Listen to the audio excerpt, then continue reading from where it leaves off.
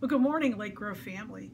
Uh, our 365 Bible story reading for today is number 343, The African Official.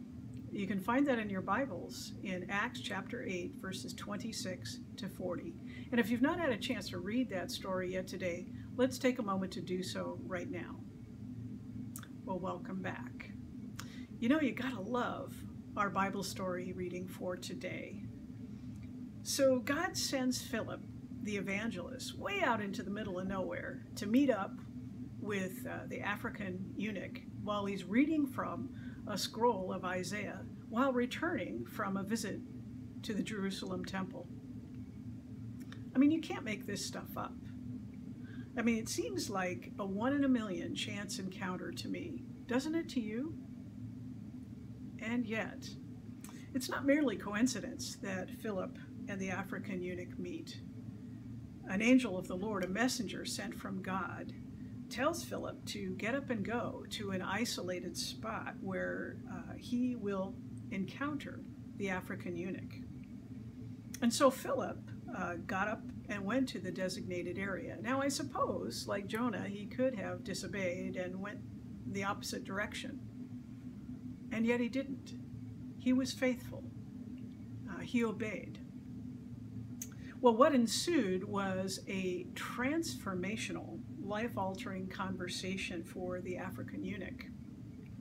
This eunuch was in charge of the Ethiopian queen's royal treasury, which was a position of great uh, trust and power.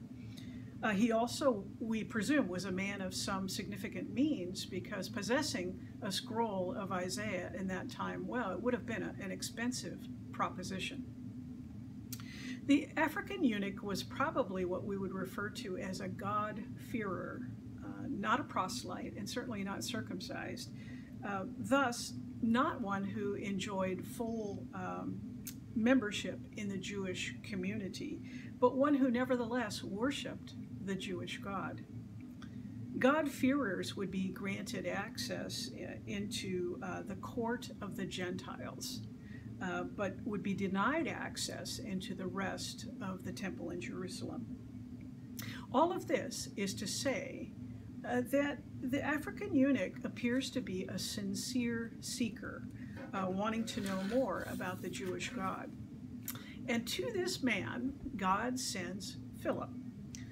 And Philip is invited into conversation by this African eunuch.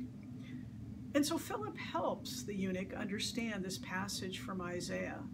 And then starting from Isaiah, Philip very adeptly shares the good news about Jesus. Well, there's water, there's a baptism, and there is new life for the African eunuch. Um, the rest is history, I suppose. But once again, the gospel of Jesus has crossed all boundaries. And the African eunuch went on his way rejoicing over the new life he had discovered in Jesus Christ. Now, the New Testament does not record anything more of his particular story. But according to early church fathers, uh, Irenaeus and Eusebius, the eunuch became a missionary to Ethiopia. Without question, the African eunuch was a changed man, and he had a story to tell. So let's think about it. I mean, what is the message of this delightful story from Acts chapter 8? You know, I have to say, as I reflect upon this story, I am struck by the way our sovereign God is constantly at work behind the scenes, orchestrating what seem to be unlikely chance encounters. Chance encounters that sometimes lead to um, revealing conversations, uh, welcome guidance and encouragement, and sometimes even new life in Jesus Christ. In our passage for today, Philip was willing to go where God sent him, to allow God to use him to change the direction of the African eunuch's life. And so I wonder, who has played the role of Philip in your life? Who, through what some might deem as chance encounters, has helped you to see Jesus more clearly. Look back at your life.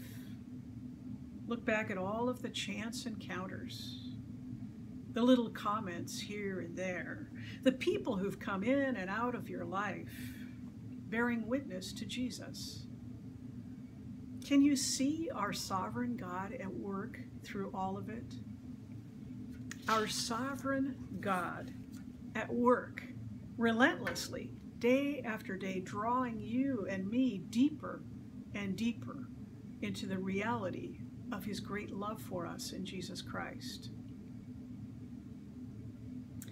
Perhaps our prayer for today, as we reflect on this passage from Acts chapter 8, should simply be something like this Lord, thank you for all of the people, sometimes through seemingly chance encounters, who have been faithful to your call to share the good news about Jesus with me.